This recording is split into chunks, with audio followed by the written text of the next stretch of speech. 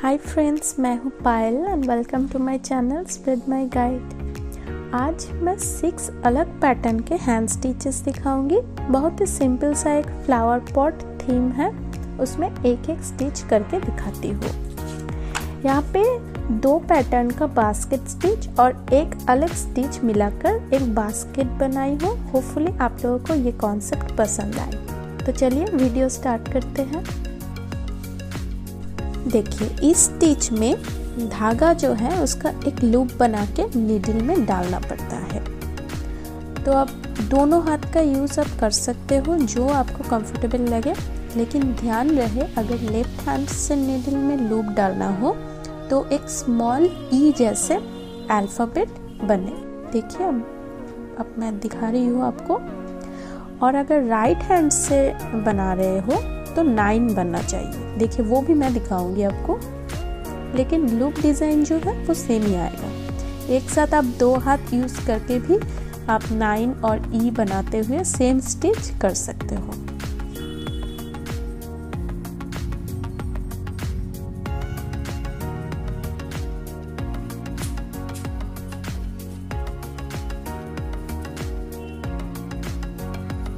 अब right hand से बना रही हूँ। सेम स्टिच के अंदर सिर्फ़ लूप बनाते वक्त ई के जगह नाइन बनाना है। बस थोड़ा ट्रिकी है, लेकिन बहुत सिंपल है।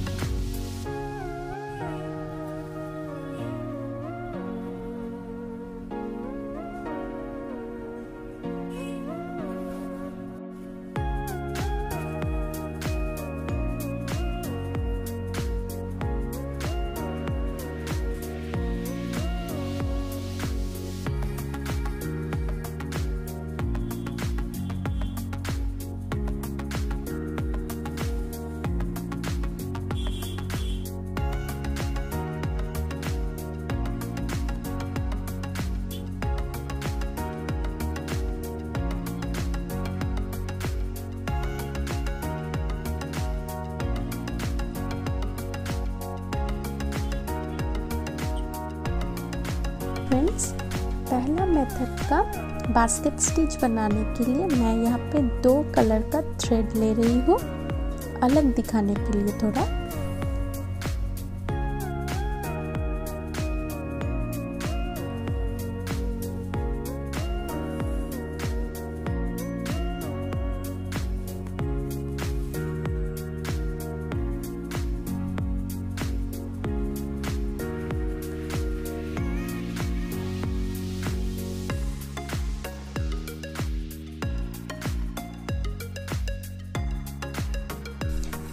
थ्रेड को ऑल्टरनेट जो लाइन है, उसमें से गुजारना है। एक लाइन के अंदर से गुजारना है तो नेक्स्ट लाइन के ऊपर से गुजारना है। ऐसे सिर्फ़ व्हिपिंग की मदद से लाइन ड्रॉ करना है एक। इस व्हिपिंग का प्रोसेस पूरा उल्टा जाएगा। जैसे कि एक स्टिच लाइन के नीचे से नीडल गुजारना है तो ऊपर के स्टिच लाइन का ऊपर से नीडल को गुजारना है। ऐसे ही विपिंग प्रोसेस की मदद से पूरा बास्केट का जो लाइन है, उसको फिल कर लेना है।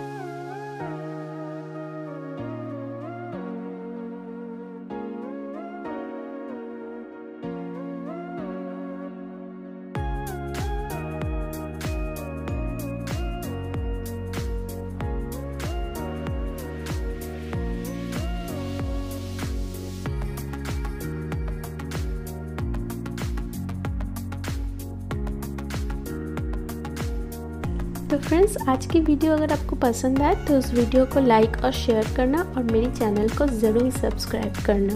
बाय